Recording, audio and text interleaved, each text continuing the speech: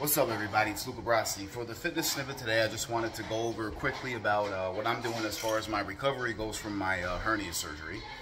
And um, everything's going well. Still having some trouble uh, swallowing food and stuff. But what I really want to actually mention right now is um, the process of training through the recovery. Okay, I've been sticking to basically a 20 pound weight limitation uh, for the last several weeks. Um, and I'm slowly, doctor said I can pretty much do whatever I want, but he recommended staying within the uh, 20 pounds over the next several weeks.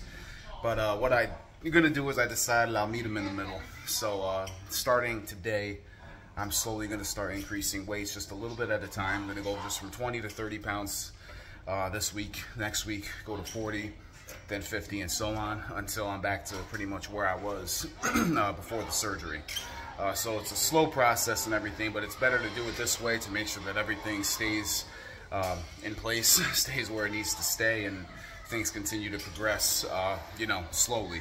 Don't want to jump right back into what I was doing before because that's how you, uh, you know, hurt yourself because your body is in a weaker state now, you know, so uh, from recovering and all that stuff, so you have to slowly kind of rebuild yourself back up.